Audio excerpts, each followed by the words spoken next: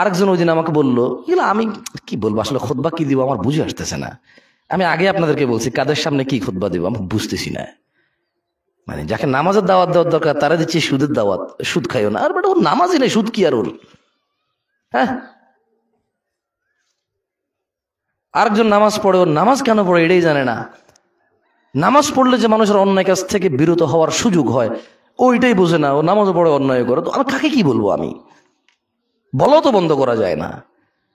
বলে যে সমস্ত হুজুরদেরকে দেখা যায় দুই বিয়ে করে, তিন বিয়ে করে লুচ্চামি করে। গতকালকে একটা কমেন্ট আসলো আমার কাছে। তা আমি বললাম যে, হ, বাংলাদেশে যত ডিভোর্স হয়, সব দ্বিতীয় বউদের হয় বেটা, ফাজিল। এক, প্রথম বউয়ের ডিভোর্স বেশি হয়। বুঝাতে পারি নেই। এই দেশের মানুষের ধর্মের যে সোর্স নলেজের যে এই পিচ্ছি পিচ্ছি, সতেরো, আঠারোর। আরে বুঝছি, বারো বছরের মানুষ মেয়েদের সাথে শুইতে পারে। তাই বলে কি আঠারো বছরে বেশি বড় হয়ে যায় নাকি? হ্যাঁ? তেরো বছরে মেয়েদের সাথে শুলে বুঝছি বাপ হওয়া যায়। তাই বলে কি, সতেরো বছরের ছেলে অনেক বড় হয়ে গেছে। হ্যাঁ? খালি বিবাহ করলে চরিত্র রক্ষা করা যায় না। আর আল্লাহর ভয়ে হয় না। দিন ইসলাম শিখলে, হারাম হালাল শিখলে পরোয়া করলে বুঝি করা যায় না। এই রোদের মধ্যে হাঁটতেও তো মানুষ ঘামায়। কষ্ট হয় ঘামে। ঠান্ডার মধ্যে হুন্ডা চালায়, ওর কষ্ট হয় শীতে। সহ্য করে তো। সহ্য করে তো। কম্বল গায়ে দিয়ে তো আর বসে থাকে না। কতগুলো বাইরে এখন? আমি প্রেম করি কারণ আমার বাবা আমাকে বিয়ে করে না। মানে বিয়ে না করলে সে প্রেম করবে। এটা তার যুক্তি। তার প্রেম করার যুক্তি কি? তার বাপে তাকে বিয়ে করে না। সমাজ নষ্ট হয়ে গেছে। আমি মানি সমাজ নষ্ট। আমি এটাও মানি তোমার বাপে বিয়ে করে না। তাই বলে কি প্রেম করবা তুমি? তাই বলে কি বিবাহ বহির্ভূত সম্পর্ক স্থাপন করবা কারোর সাথে?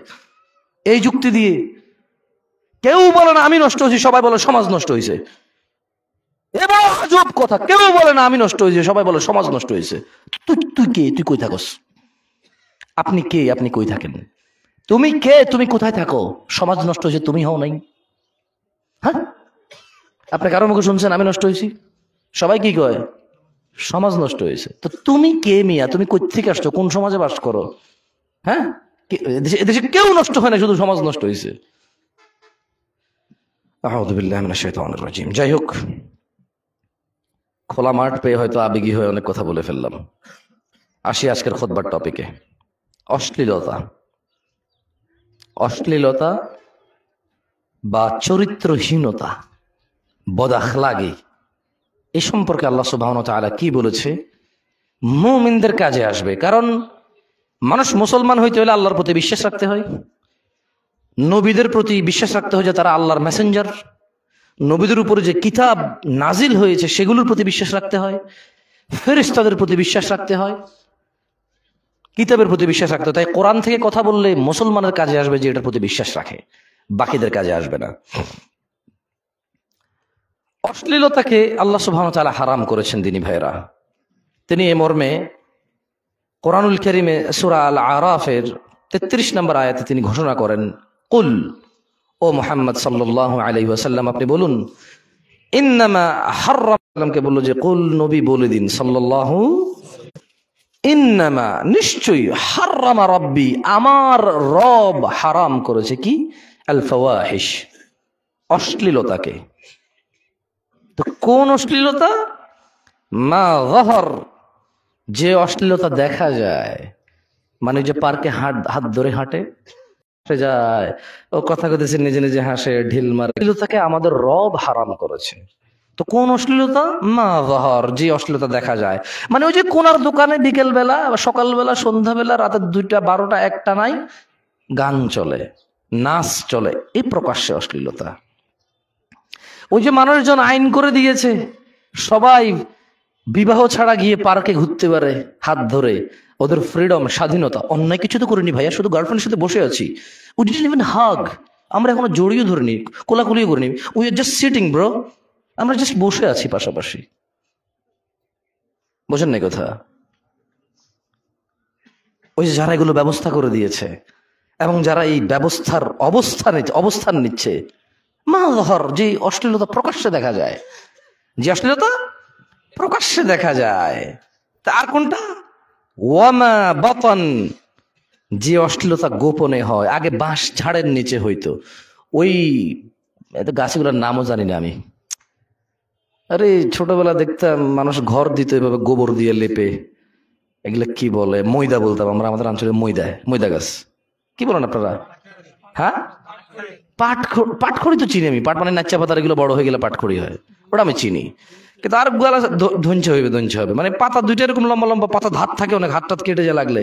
চিকন চিকন হয়, বেতের মতো। কাশ বনের চেয়ে একটু বড় গাছ হয়, আমাদের ওদিকে ছিল। গরিব মানুষরা আগে দেখতাম, কাটতো, কেটে এই খড়িগুলাকে একসাথে রেখে বাইন্দা গোবর দিয়ে লেপতো, লেপে ঘর দিত। ছন ছন। আগে গোপন গোপন অপরাধ ছিল ছন গাছের পাশে।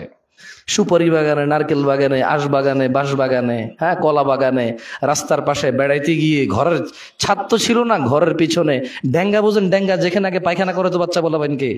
মহিলারা চুলা থেকে চালি, মাটি, গরুর গোবর নিয়ে যেখানে ফেলে রাখতো বছরের পর বছর, যখন সিজন আসতো ফসল করার তখন ওই গোবরগুলো নিয়ে মাঠে ছিটত। বাচ্চারা যেতে ভয় পাইতো, জিনভূত আছে নাকি? মায়ের আঁচল ধরে কান্নাকাটি করতো, মা, হাগমু বা পেশাব করমু। মাকে তো রাখ অপেক্ষা কর। কারণ মার হাত ভিজা, কাজ করতেছে। শেষ পর্যন্ত ওর কান্নাকাটি দেখে ওখানে নিয়ে যেত ড্যাঙ্গা আমরা এটা বলতাম।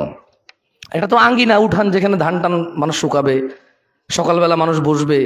আরেকটা ছিল ওইটা যেখানে আবর্জনা ফেলবে। ঠিক আছে? তো আগে ওগুলো ছিল গোপন পাপ। তো আমি এখন চিন্তা করি যে সুফহান আল্লাহ সাড়ে চোদ্দশো বছর আগে আল্লাহ সুবাহ নবী সাল্লাহ সাল্লামকে বলছেন যে, আপনি এদেরকে বলে দিন। শুধু প্রকাশ্যে পাপ হারাম নয় ফেসবুকের আই লাভ ইউ হারাম ফেসবুকের এভাবে লাভ ইমুজি সেন্ড করা হারাম নামাজ পড়ছো বলা, বিবাহ ছাড়া একটা মেয়েকে। বিবাহ না করে একটা ছেলেকে নামাজ পড়ছো, জান। এ বলা গোপন পাপ, এ বলা হারাম হোয়াটসঅ্যাপ একটা পিকচার দাও, তোমার দেখি না, অনেকদিন হয়েছে। না না, এমনি না, ওইদিকে তাকাও। আমি কেমনে জানি? আমি কি কি? আমি জানব না কে? আপনি জানলে আমি জানব না কে? আপনি যেখানে থাকেন, আমি সেখানে থাকি। কেউ করে, কেউ জানায়। কেউ করে, কেউ সবাই শোনায়। জানব না কে? জানার কি আছে? হুজুর কেমনে জানে? তুমি যেমনে জানো, আমি এমনি জানি। তুমি করতে পারব, আমি বলতে পারব না না? তুমি করতে পারবা, আমি বলতে পারব না, আমি খারাপ। তুমি যা করো তো আমি বললেও দোষ, আর তুমি করলেও দোষ মনে করো না। এ হয় নাকি? তুমি করো দেখেই তো বলি। বলো, আমি ভুল বলছি? বলো তুমি, আমি ভুল বলছি? ভুল বললে বলবা, সঠিক বললে চেষ্টা করবা নিজেকে শুধরাইতে। আল্লাহ সুবহান তালা সাড়ে চোদ্দশো বছর আগে গোপন পাপ এবং প্রকাশ্য পাপকে হারাম করেছেন। আল্লাহ আমাদেরকে বোঝার তৌফিক দান করুন। দেখুন, আল্লাহ সুবহান চালা বলছেন যে, রহমানের বান্দা যারা, আমি কিন্তু আজকে শুরুতে একটা কথা বলেছিলাম যে যে মুসলমান না, যার ইমান ঠিক নেই, তার জানা, ব্যবিচার মত কি? তার দিন কি, দিবস কি, অশ্লীলতা কি? তার মা বাপের সাথে অন্যায় কি? মারামারি, হত্যা, রাহাজানি, এগুলো কি তার? তার কিছু যায় আসে নাকি? এটা আমি বলিনি। সাড়ে চোদ্দশো বছর আগে আল্লাহ সুবহান তালা কোরআনুল কারীমে নাজিল করেছেন এবং তারা, রহমানের বান্দারা, আল্লাহর সাথে অন্য কোন ইলাহকে ডাকে না। আর আল্লাহ যার হত্যা নিষেধ করেছেন যথার্থ কারণ ছাড়া তারা তাকে হত্যা করে না। ইল্লা বিল হক, এবং যথার্থ কারণ ছাড়া তাদেরকে হত্যা করে না। আর রহমানের বান্দারা তারা ব্যবিচার করে না। আল্লাহর বান্দারা তারা ব্যবিচার করে না।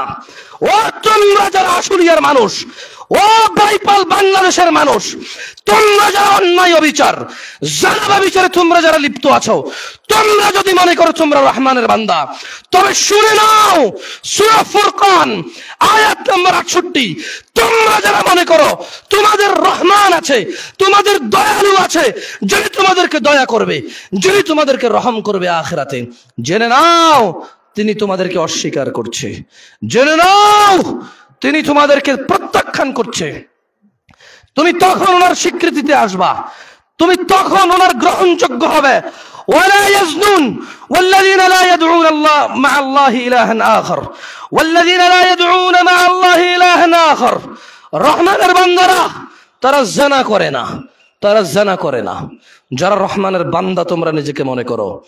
জানা থেকে এখনও সময় আছে, ফিরে আসো। যা হয়ে গেছে হয়ে গেছে। আজকেই ফিরে আসো। কেমনে ফিরে আসব আমাকে জিজ্ঞেস করিও না।